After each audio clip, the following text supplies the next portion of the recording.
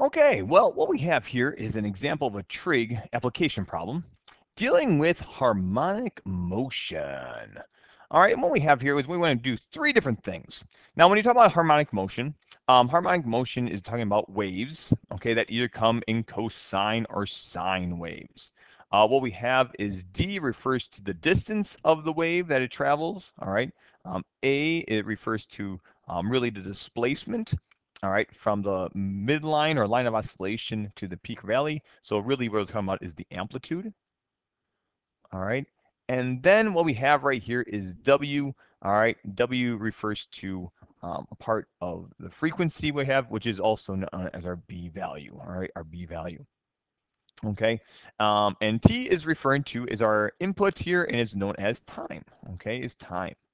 All right, we have a frequency, okay, frequency of a harmonic motion, which is W, our B value, divided by 2 pi. And you can see the two different ways to write this. Now, using this information, we want to figure out from each one of these harmonic motion problems, okay, um, given that this is our harmonic motion um, equation for some type of uh, wave or whatnot, we want to find the maximum displacement, we want to find the frequency, and then we want to find the least possible value for t, so time for which d, the distance equals zero, okay? All right, or this, or the, this, uh, yeah, the distance equals zero. So, um, in going through and doing this, okay, um, we want to figure this out. So we're going to go through and we'll go through each one individually. So what is a maximum displacement? All right, maximum displacement. So maximum displacement is when you do a harmonic motion wave is how far it will be from the midline, okay? This midline or line of oscillation, all right? Line of oscillation. So um, when you're talking about that, we really are talking about, well, what's the distance from here, all right, to a max, okay, to the max value, to the max value.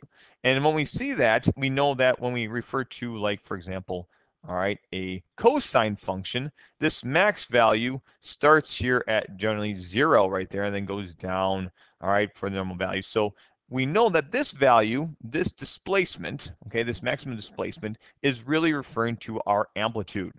And so to figure this out for this part A, we really are looking for what is the A value of the function. Generally, it's equal to 1, but because we're multiplying by one third, we know that amplitude will equal one third here. So A, our max displacement, all right, is going to equal one third, one third, okay, one third, which is right there, which is equal to the absolute value of our A value. Okay, so that's one third. All right, um, going to B, what is our frequency of this wave? All right, B our frequency. Well, B our frequency, you can see from the frequency equation, is that frequency is equal to W over 2 pi. All right, or actually the reciprocal of how you find the period. Okay, and so in this case with our W, our W is 12 pi. And what is over 2 pi? And so we have is our frequency is 6. All right, 6. All right, um, don't tell us exactly how this is measured, um, and so it's going to be 6. That's our frequency. Okay, um, going to part C, all right, part C, okay, this says, and this is probably the most difficult one, it says, what is the least positive value for t for which d equals 0? Well, in order to figure this out, we're going to set up an equation because our d value is going to equal 0. So we're just going to plug that in for d. And then we're going to have 1 third cosine of 12 pi t. And now what we want to do from here is we want to solve for t. All right, we want to solve for t. Now in to solve for t, we're going to get cosine by itself. So we multiply both sides by 3. And so we have 0 equals cosine of 12 pi t. Now how do you get rid of this to solve for t? Well, cosine, we're going to take the arc cosine of both sides, or the inverse cosine of both sides, however you want to say that. So arc cosine of 0, oops, oops, arc cosine is zero, okay, arc cosine of zero, is equal to, all right, arc cosine of 12, eh, sorry, of 12 pi t, okay, and I didn't write that right, okay, arc cosine of the cosine of 12 pi t. So I'm doing that because we're going to use the inverse to try to unlock the inside here, okay? Um, so we have the arc cosine of 0. Well, arc cosine of 0 is actually, all right, um, so what's the farthest distance, all right, uh, for value t for least positive value, least positive value. Um, and so when we have this, there are two different values where cosine um, equals zero, or cosine equals zero. Um, and if you recall this, this is either going to be, since we're doing arc cosine, the arc cosine graph we know goes from zero to, all right, pi. And so we know that, all right, um, oops, not pi, all right, um, and where is this going to equal zero? Well, zero, cosine is zero right here um, at this pi over 2, pi over 2, all right, this value of pi over 2. Because we know on the unit circle, all right, unit circle, we have 0, all right, 1, all right, that's when cosine is 0, and so we have pi over 2 right here, all right, pi over 2 is going to be right there. And so what we have then is going to be arc cosine, all right, arc cosine, these cancel out, and left with is 12 pi t, 12 pi t. We solve for this by dividing by 12 pi, so we have pi over 2 times 1 over 12 pi. That equals t.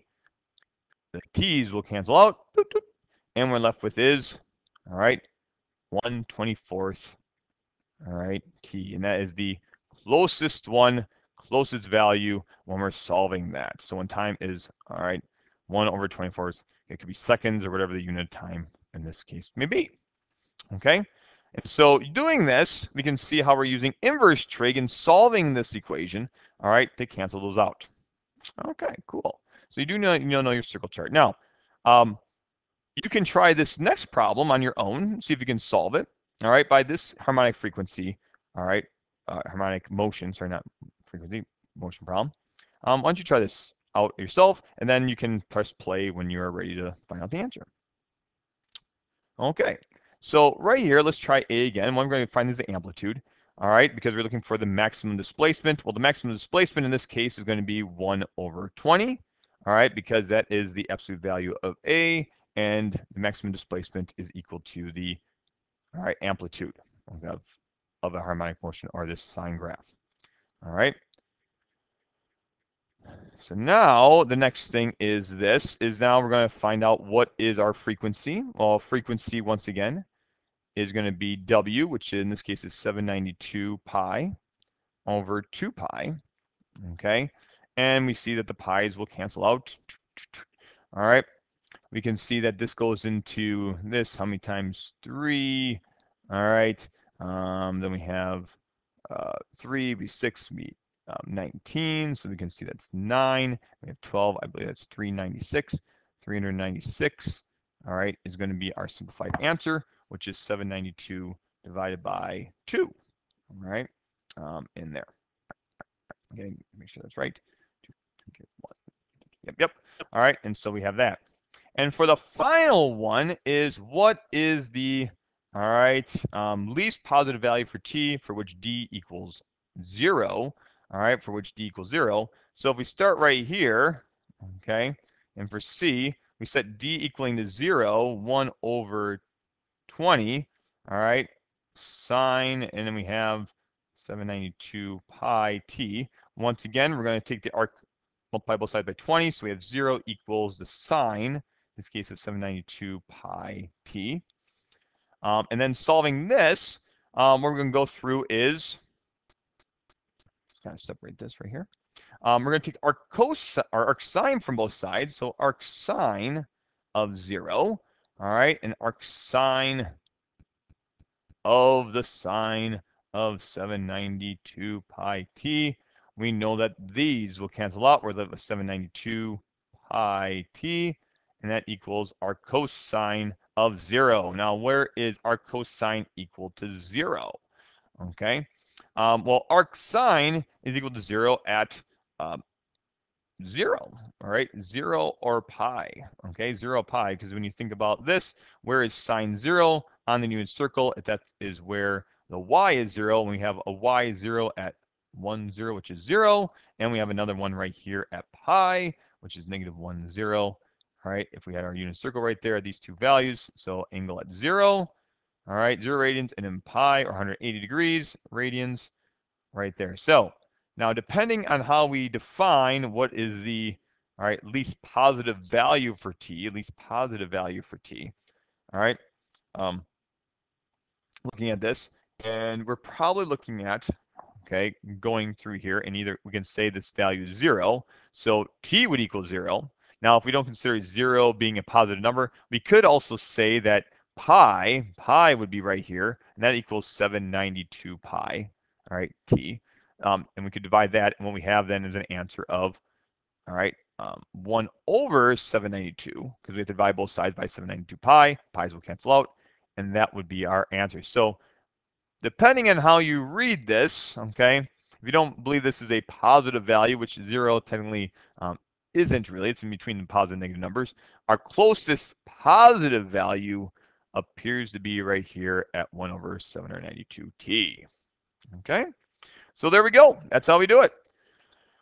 Solving this right here, um, make sure we know maximum displacement is going to be our, all right, our A value, our amplitude. Frequency, we use W over 2 pi or B over 2 pi.